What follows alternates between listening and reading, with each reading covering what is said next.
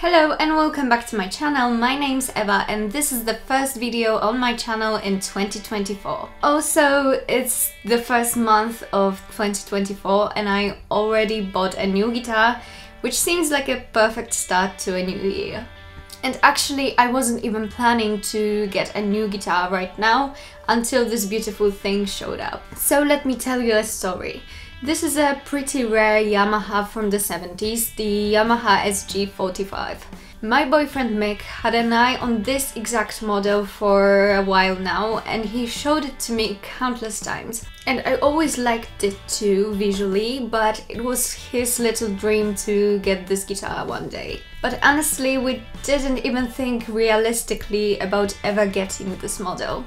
As I said before, it's a pretty rare model and most of these are in Japan, so it's not that easy to buy them, especially in Europe and Poland. But recently Mick was scrolling through reverb.com and he found this one and it was not only in Europe but in Poland. We knew such opportunity wouldn't probably happen ever again, so we decided to buy it together. Well, actually we were planning to get a new bed and a couple of new furniture pieces for our apartment, but you know, priorities. So let me tell you more about this model because I'm pretty sure most of you haven't heard about it before.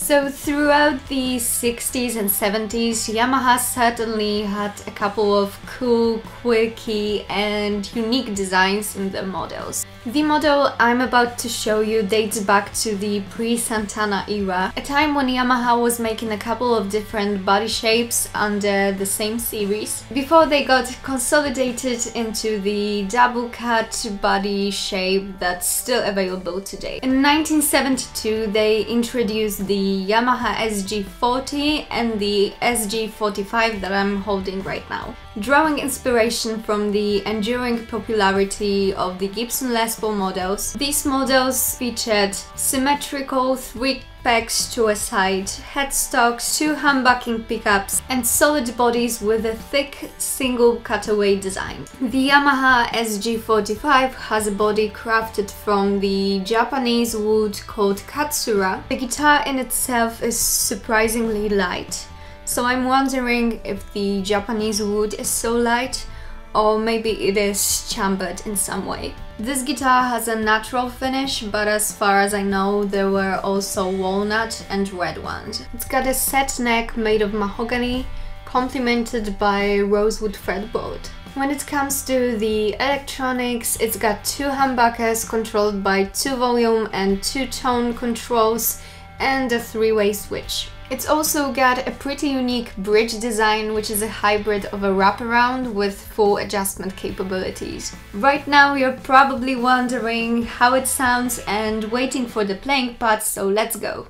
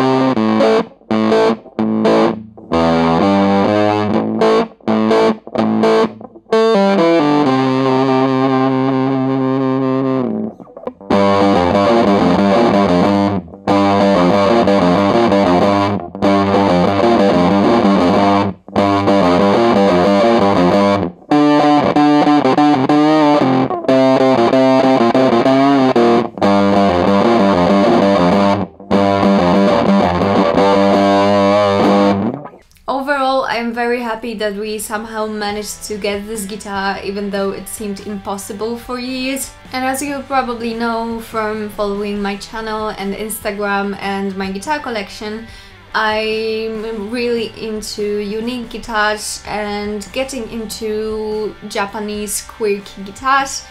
Uh, some time ago I bought my Teisco from the 60s which is a pretty unique guitar. Also there is a Japanese Greco right there behind me on the wall. So I'm getting into these Japanese old vintage guitars and I'm glad we can include that one in our collection. If you know any other old Japanese guitars that are worth trying, let me know in the comments. And if you enjoyed this video, remember to like, comment and subscribe to my channel and also ring the bell to be notified when I post new videos. And follow me on Instagram for some more guitar content. See you next time. Bye!